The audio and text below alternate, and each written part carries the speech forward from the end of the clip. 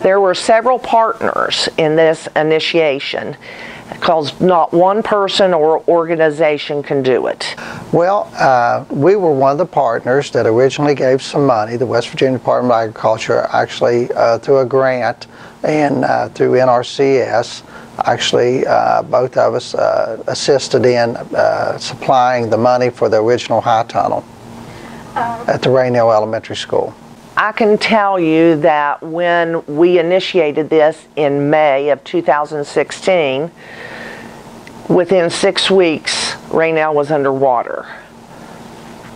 So, what it initially started as an agricultural learning and helping with math, science, reading, and all the other courses ended up being a therapy for the children who had gone through the flood and lost everything. This way they could come to the tunnel and understand the good benefits of water. And within six months, we had raised a farmer along with the product and this little girl ended up being the agriculture commissioner of a day at the state fair. We actually try to take some plants up, some seeds up, and then we help assist the uh, children and stuff planting them and that sort of uh, stuff. Just to, we're very interested in growing the next uh, generation of farmers. Well, the first um, real opportunity is agricultural training. Um, everybody needs to know how to grow something. If you don't mind getting dirty, and um, drinking a lot of water and watching something grow literally overnight, harvesting for market or just helping at the market. Every grade in the school actually comes out. They uh, have uh, an area for the uh, for every child there to actually work into it and grow something.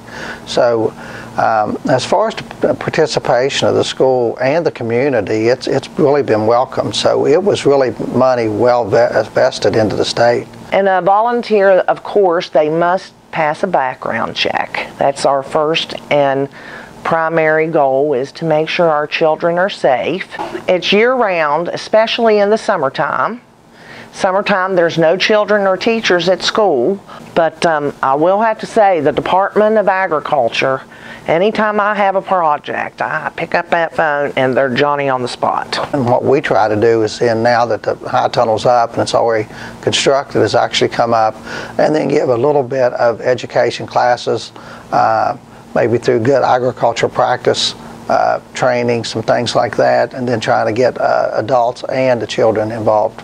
Why I feel this is important is because we've lost a generation of, of growers in West Virginia.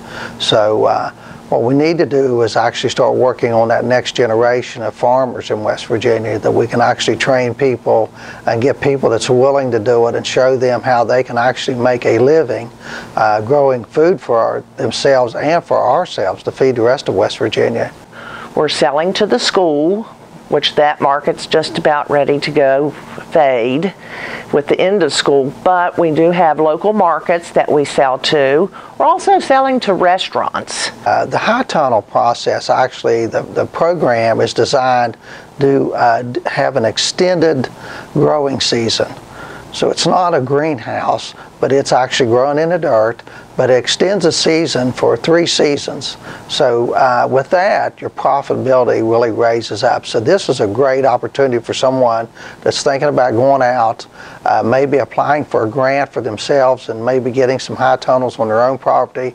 This, this lets that person get out uh, work in a high tunnel, see what a high tunnel is about, see how uh, much product you can produce in a high tunnel, and and actually at that time, then you can kind of turn it over to how much profit you could make. So you can do it in uh, in rural areas, you can do it in urban areas. You use uh, uh, less ground, you lose you use less water.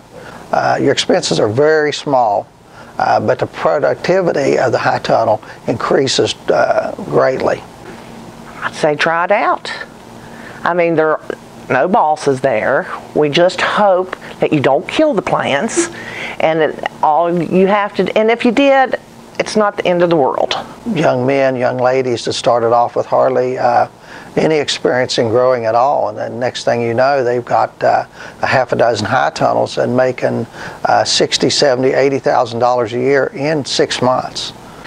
They can call the Rainelle Elementary School at 304 438 8861, or they can call me directly at 304 667 0689, or they can hit my email at m e s u r b a u g h at hotmail.com and make sure to go on Facebook and look at Rainelle Agricultural Learning Center under, I think it's listed RALC.